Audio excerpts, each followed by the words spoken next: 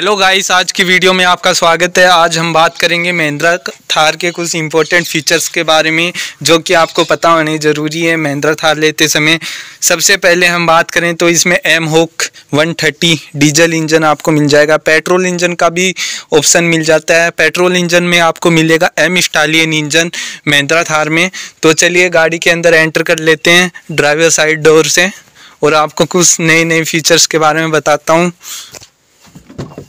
सबसे पहले तो महिंद्रा थार में वॉशेबल फ्लोर आपको मिल जाता है। आप इस फ्लोर को धो सकते हो पानी से, कोई भी दिक्कत नहीं है। जैसे अपने मैट्स को हटा के फ्लोर ऊपर करके आप आराम से इसको साफ़ कर सकते हो पानी से। दूसरी हम बात करें तो इसमें आपको एडजस्टेबल सीट्स मिल जाएँगी। लंबर सपोर्ट भी एडजस्ट कर सकते हो। सीट को ऊपर नीचे इस टाइप से आप कर सकते हो, जैसे ऊपर करनी है तो इस टाइप से आप कर सकते हो।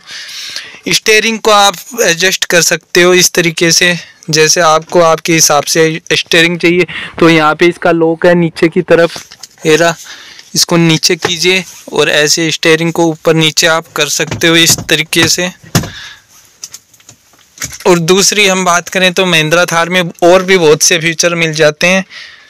चलिए इसके अंदर एंटर कर लेते हैं।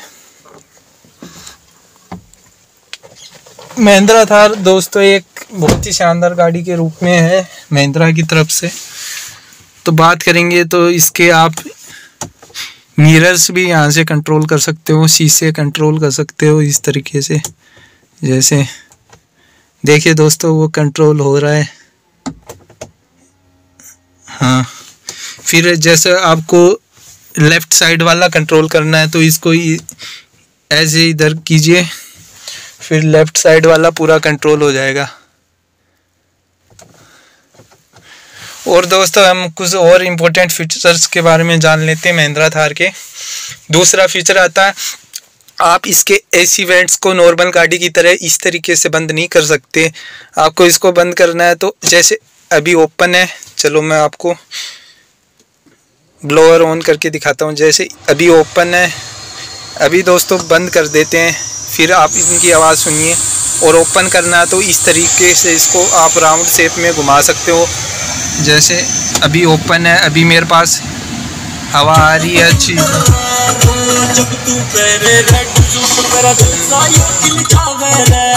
दोस्तों, हमारे गाने चल चुके हैं एंड्रॉइड ऑटो से। अभी इनको बंद कर लेते हैं।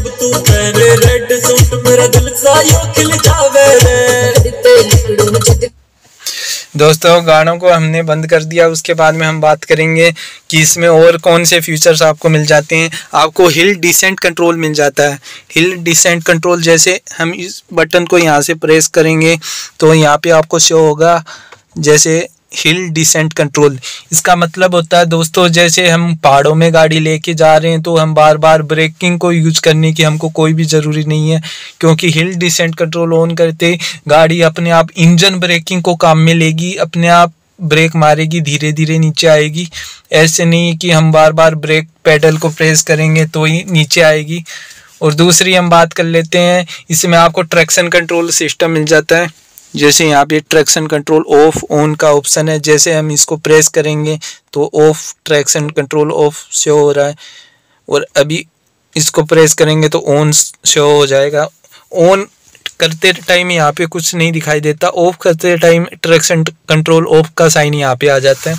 और दूसरी बात करें तो जैसे हम गाड़ी को फोर लो में लेके आएँगे तो ट्रैक्शन कंट्रोल ऑटोमेटिक जैसे फोर लो के अंदर अभी लेके गए गाड़ी को तो ट्रैक्शन कंट्रोल ऑन हो गया। ये भी इसका एक फीचर है, जो आपको पता होना ज़रूरी है। और दूसरी हम बात करें तो जैसे हम एसी को हीटर मोड पे लेके जाएँगे तो रीसर्कुलेशन मोड ऑफ़ हो जाएगा ऑटोमेटिकली बाहर से हवा लेने लग जाएगा। जैसे अभी इधर ले गए तो अभी रीसर्कुलेशन मोड ऑन है, आप देख सकते हो। और इसको इधर ले जाएँगे तो ऑफ़ हो जाएगा अपने आप।